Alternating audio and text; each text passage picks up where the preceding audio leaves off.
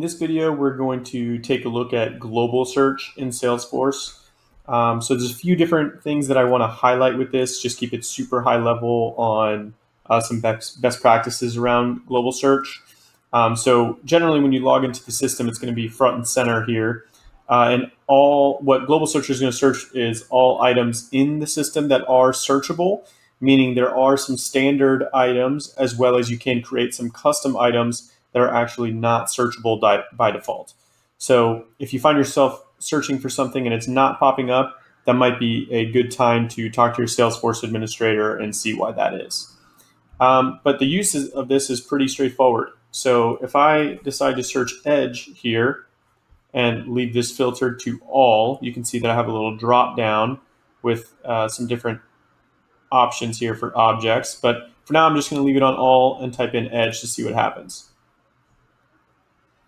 And you can see that it searched the entire database of um, things that are searchable, and it popped up an account, an opportunity, and a contact, or, or multiple contacts. And you can see that the, the way that it pulled this up was it searched for Edge in an account name.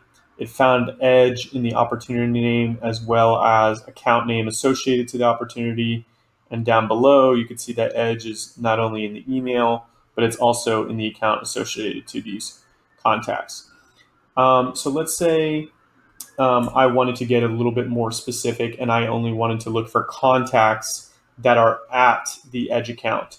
So if I open this option down and filter to contacts, I'm going to do the same criteria. And you see that it's going to pull up the contacts related to Edge.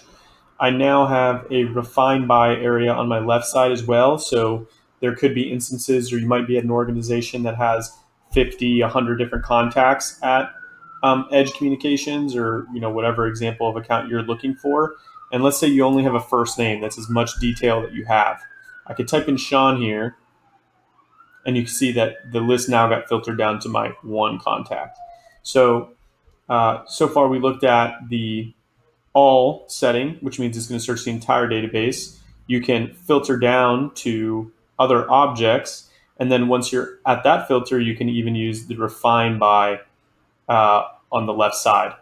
So another thing here is, let's say uh, I'm searching for edge and I return my values from my first search. There's going to be certain characteristics that are listed here on the page that may or may not be relevant to me. So uh, if let's say you know account site is irrelevant or phone uh, or account owner alias, these can actually be customized, and that's called uh, a search layout.